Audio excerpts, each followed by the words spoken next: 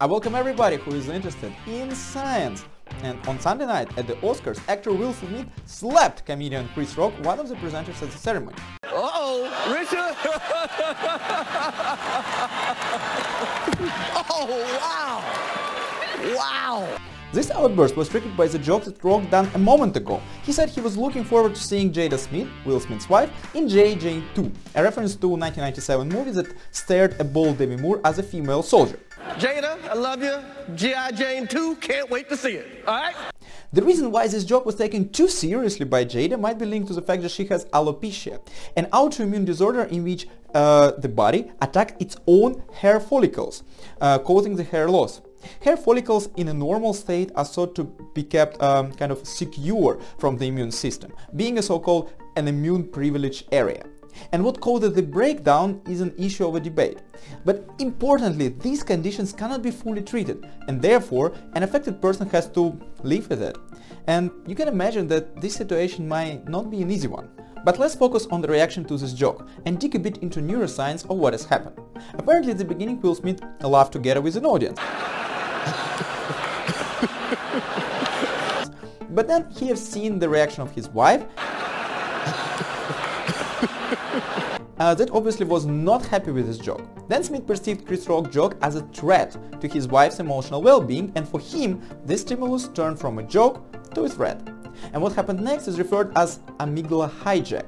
This term was introduced in 1995 by psychologist Daniel Goleman and can be described as an immediate and intense emotional reaction that is out of proportion to the situation. In other words, it's when someone um, loses it or seriously overreact to something or someone.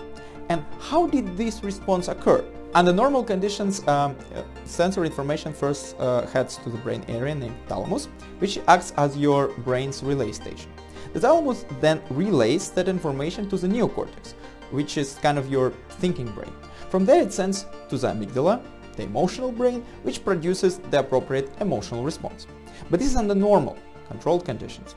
However, part of the information goes to amygdala directly, and if amygdala senses danger, it initiates a so-called flight or fight response. In this case, uh, the nervous system provokes the release of the certain stress hormones such as adrenaline and cortisol, and as a result we have an increase in heart and breathing rates as well as in blood pressure.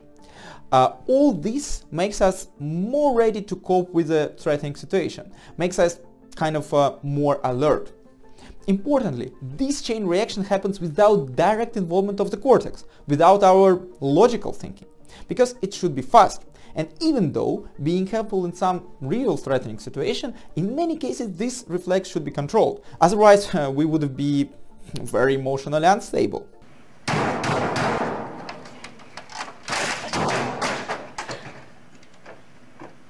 The prefrontal cortex is the brain region responsible for suppressing this reflexive amygdala-driven response. However, in some cases our prefrontal cortex is not able to override this automatic behavioral. It can be just too strong, like over-emotions. Or alcohol can also inhibit the prefrontal cortex. And this is partially why people who are drunk are not good in controlling their emotions. Smith was obviously not drunk, but if he has consumed some alcohol before, it could have been another factor. And this is what happened. He was driven by this amygdala hijack, performed this slap, and when the prefrontal cortex took over, it was too late. He did apologize, but what's done is done. And from a scientific point of view, this case brought into the spotlight two important scientific issues. First, alopecia. It is important to be aware about this condition and maybe abstain from joking about it, especially if a person is not okay with that. And second, amygdala hijack, something we may experience ourselves being prepared for it can help us to cope with this situation in the future. And, you know, controlling it can be a serious challenge.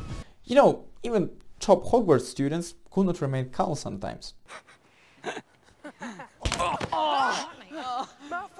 You, you stop eating. Weasley, show up here after week. Wow, this girl really has some issues. Run, Ron, run! Thanks for watching. If you like this video, make sure to give it a thumb up and subscribe to the channel, allowing all notifications not to miss new cool scientific stuff. And for now, I hope to see you soon. Bye bye.